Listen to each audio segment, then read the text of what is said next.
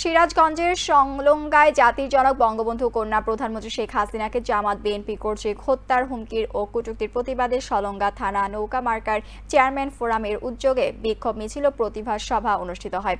গতকাল বিকাল তিন ঘটিকার সময় সলঙ্গা সমাজ কল্যাণ সমিতির সামনে এই সমাবেশ অনুষ্ঠিত হয়েছে।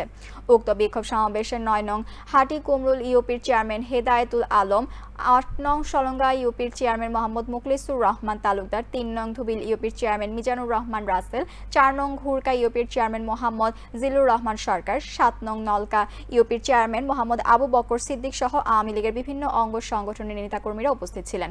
এ সময় বক্তাগণ বলেন, বঙ্গবন্ধু কন্যা প্রধানমন্ত্রী শেখ হাসিনা সব বাধা উপেক্ষা করে দেশকে একটি উন্নত দেশ হিসেবে পরিচিত করছে। ঠিক তখনই স্বাধীনতা বিরোধী শক্তি আবারও সে উন্নয়ন থামিয়ে দেওয়ার জন্য উঠে পড়ে লেগেছে। কিন্তু তাদের এই অপচেষ্টা কখনোই সফল হতে দেব না। আগামী জাতীয় নির্বাচন পর্যন্ত আওয়ামী লীগ মাঠে থাকবে এবং কাউকে কোনো ছাড় দেওয়া হবে না। প্রধানমন্ত্রী শেখ হাসিনার পাশে থেকে ঐক্যবদ্ধ হয়ে সব অপশক্তি মোকাবিলা করা হবে।